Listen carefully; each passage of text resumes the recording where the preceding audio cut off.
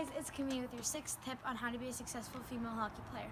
Tip number six, don't just work when people are watching. Work at hockey on and off the ice when no one is telling you to.